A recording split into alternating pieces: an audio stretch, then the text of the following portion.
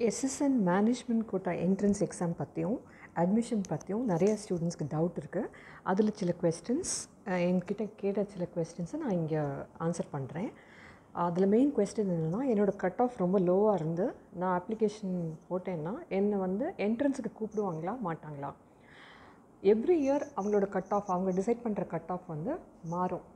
இந்த வருஷம் எவ்வளோ கட் ஆஃப் ஃபிக்ஸ் பண்ண போகிறாங்கன்னு தெரியல. லாஸ்ட் இயர் வந்து ஹண்ட்ரட் அண்ட் எயிட்டி ஃபைவாக இருந்தது.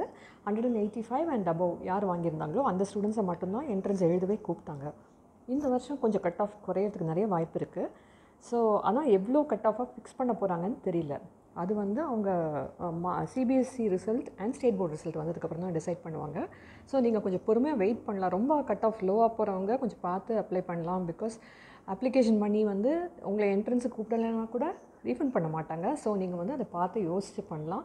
நிறைய டைம் இருக்கும் உங்களுக்கு. ரிசல்ட் வந்து அதுக்கப்புறம் டைம் இருக்கும். அப்புறம் தான் அப்ளிகேஷன் க்ளோஸ் ஆகும். ஸோ நீங்கள் அவசரமாக இப்போ அப்ளை பண்ண வேண்டாம். கொஞ்சம் வெயிட் பண்ணி பார்த்துட்டு பண்ணலாம். யார் முதல்ல அப்ளை பண்ணால் எங்களை கூப்பிடுவாங்க அப்புறம் என்னை கூப்பிட மாட்டாங்களா? அந்த மாதிரிலாம் கிடையவே கிடையாது.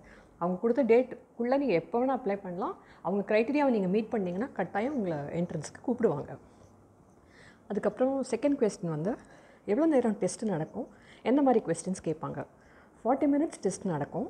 டுவெண்ட்டி ஃபைவ் கொஸ்டின்ஸ் கேட்பாங்க. எந்த மாதிரி கொஸ்டின்ஸ் கேட்பாங்கன்னா ஆப்டிடியூட் இங்கிலீஷ் லாஜிக்கல் ரீசனிங் தான் இருக்கும். இதில் மேத்ஸ் ஃபிசிக்ஸ் கெமிஸ்ட்ரி கொஸ்டின்ஸ் இருக்காது. சப்ஜெக்ட் பேஸ்ட் கொஸ்டின்ஸ் இருக்காது. Mainly aptitude logical reasoning and English தான். இதுக்கு வந்து நீங்கள் கொஞ்சம் ப்ரிப்ரேஷன் தேவைப்படும். நீங்கள் நிறையா வெப்சைட்ஸ் நிறைய இருக்குது நீங்கள் அதெல்லாம் போய் கொஞ்சம் செக் பண்ணி பார்த்தீங்கன்னா கொஸ்டின்ஸ் எப்படி இருக்குது அதுக்கு எப்படி ஆன்சர் பண்ணணும் எல்லாம் உங்களுக்கு நிறைய ஐடியா கிடைக்கும்.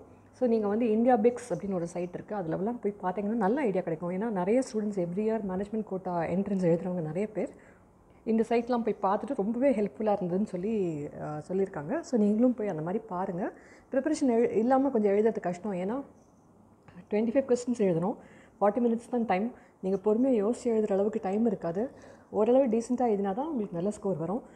எல்லா கரெக்ட் ஆன்சருக்கும் ஃபோர் மார்க்ஸ் ஈச் தப்பாக எழுதுகிற ஆன்சருக்கு நெகட்டிவ் மார்க்கிங் உண்டு மைனஸ் ஒன் ஸோ நீங்கள் கொஞ்சம் கேர்ஃபுல்லாக ப்ரிப்பேர் பண்ணி எழுதினீங்கன்னா ஈஸியாக பண்ணிட முடியும். கொஸ்டின்ஸ் டஃப்பாலாம் இருக்கவே இருக்காது. கொஞ்சம் ப்ரிப்பரேஷன் வேணும் அவ்வளோதான் டெஸ்ட் முடிஞ்ச உடனே இன்டர்வியூ இருக்கும். இது டெஸ்ட்டு கேம்பஸில் தான் நடக்கும். ஆன்லைனில் இல்லை. டெஃபினட்டாக கேம்பஸ் காலேஜ் கேம்பஸில் போய் தான் பண்ணுற மாதிரி இருக்கும். ஒவ்வொருத்தருக்கும் ஒவ்வொரு டைம் ஸ்லாட் கொடுப்பாங்க. நிறைய பேச்சஸாக நடக்கும் டெஸ்ட்டு ஸோ உங்களுக்கு எப்போ இன்டர்வியூ என்ட்ரன்ஸ் எக்ஸாம் ஸ்லாட் கொடுத்துருக்காங்களோ அதுக்கப்புறம் இன்டர்வியூ ஸ்லாட் கொடுத்துருக்காங்களோ அதுபடி தான் நடக்கும். நீங்கள் இன்டர்வியூ டெஸ்ட் முடிச்சுட்டு இன்டர்வியூ போய் அட்டன் பண்ணணும் ப்ரொஃபஸர்ஸ் தான் இன்டர்வியூ பண்ணுவாங்க. அவங்களாம் ரொம்ப கூலாக தான் இருப்பாங்க. உங்களை ரொம்ப நீங்கள் பயப்படுற மாதிரியோ ரொம்ப டென்ஷன் ஆகிற மாதிரியோ எதுவுமே இருக்காது. மொத்தம் இன்டர்வியூ டைம் இன்டர்வியூ பண்ணுற டைமே வந்து three to four minutes maximum five minutes தான்.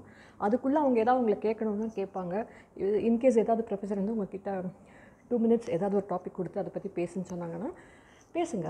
ஆனால் உங்களுக்கு அந்த பர்டிகுலர் டாபிக் பற்றி உங்களுக்கு பெரிய ஐடியா இல்லைன்னா கூட நீங்கள் டென்ஷனே ஆகாமல் கொஞ்சம் ஸ்ட்ரெஸ்லாம் எதுவுமே இல்லாமல் ஃபேஷியல் ரியாக்ஷன் ரொம்ப காமாக கூலாக கான்ஃபிடென்ட்டாக நீங்கள் இருந்து பேசுங்க. நீங்கள் உங்களுக்கு அதை பற்றி ரொம்ப பேச தெரியலனா கூட யூ வில் இம்ப்ரெஸ் டெம் நீங்கள் ஃபேஷியல் ரியாக்ஷனில் ரொம்ப டென்ஷனாகி அப்படி ரொம்ப பதட்டமாக அந்த மாதிரி ஆகிட்டிங்கன்னா அவங்களுக்கு கண்டிப்பாக அவங்கள பற்றின ஒரு நெகட்டிவ் இது தான் வரும். ஸோ அது கொஞ்சம் ரிலாக்ஸ்டாக நீங்கள் பண்ணுங்கள் அது போதும். மெயினாக அந்த இன்டர்வியூ நடக்கிறதே நீங்கள் எவ்வளோ கான்ஃபிடென்ட்டாக இருக்கீங்கன்னு பார்க்குறதுக்கு தான். ஏன்னா நீங்கள் காலேஜ் படித்து முடித்தாலும் அதுக்கப்புறம் கேம்பஸ்க்குலாம் நிறைய பேர் வருவாங்க இல்லையா இன்டர்வியூக்கு அப்போவும் இன்டர்வியூவில் இதே நிலமை தான் இல்லை அவங்க நிறைய கொஸ்டின்ஸ்லாம் உங்ககிட்ட கேட்பாங்க. ஸோ எப்படி நீங்கள் அதெல்லாம் ஃபேஸ் பண்ணுவீங்க? அதனால அந்த இப்போவே கொஞ்சம் ஒரு சிம்பிளாக ஒரு டெஸ்ட் மாதிரி நீங்கள் எவ்வளோ கான்ஃபிடென்ட்டாக இருக்கீங்க? பயப்படாமல் இருக்கீங்களா? அவ்வளோதான் பார்ப்பாங்க. ஸோ நீங்கள் ரொம்ப பயப்பட வேண்டியதில்லை. அவங்க பே கேட்டு முடித்த டாப்பிக்கை நீங்கள் பேசி முடித்த உடனே நீங்கள் உடனே உங்ககிட்ட எக்ஸ்ட்ரா கரிக்குலர் சர்டிஃபிகேட்ஸ்லாம் எதாவது இருந்ததுன்னா எடுத்துகிட்டு போங்க கண்டிப்பாக கண்டிப்பாக நீங்கள் போகும்போது எடுத்துகிட்டு போங்க கேம்பஸ்க்கு அதை போய் நீங்கள் இன்டர்வியூ டைமில் ப்ரொஃபஸர் கிட்டே காமிக்கலாம். ஸ்போர்ட்ஸ் ஏதாவது divisional level state level national level or any other certificate dance quiz ஏதாவது இன்டர் கால inter school tournaments or any thing quiz music or any thing என்ன இருக்கோ நீங்கள் எடுத்துகிட்டு போய் காமிக்கலாம். அதெல்லாம் அவங்க நோட் பண்ணிப்பாங்க. That would all would enhance your chances of admission especially கொஞ்சம் ரிமார்க்கபிள் லெவல் ஆஃப் அச்சீவ்மெண்ட்ஸ் இருக்கிற எந்த எக்ஸ்ட்ரா கரிக்குலர் ஆக்டிவிட்டி வச்சுருக்கிற ஸ்டூடெண்ட்டுக்குமே சான்சஸ் கொஞ்சம் ஹை தான். கொஞ்சம் கண்டிப்பாக எடுத்துகிட்டு போங்க. ப்ளஸ் ஜேஇ ஸ்கோர் இருந்தால் அதையும் சொல்லுங்கள் நான் ஜேஇ எழுதினேன். சார் இது என்னோடய ஸ்கோர்னு சொல்லிட்டு நீங்கள் சொல்லலாம். அது மறக்காமல் மென்ஷன் பண்ணுங்கள் அண்ட் சில பேர் வந்து ஜேஇ ஸ்கோர் மட்டும் வச்சு எனக்கு அட்மிஷன் கிடைக்குமான்னு கேட்குறாங்க அது கிடையவே கிடையாது. ஜேஇ ஸ்கோர் நீங்கள் மென்ஷன் பண்ணலாம் அவ்வளோதான் அட்மிஷன் வந்து கண்டிப்பாக நீங்கள் மேனேஜ்மெண்ட் கோட்டாக்கு என்ட்ரன்ஸ் எழுதியே தான் ஆகணும். You can mention you marks but admission is not purely done on ஜேஇஸ் course வேறு என்ன கொஸ்டின் இருந்தாலும் நீங்கள் எனக்கு கமெண்ட்டில் கேளுங்க. I reply you thanks for வாட்சிங்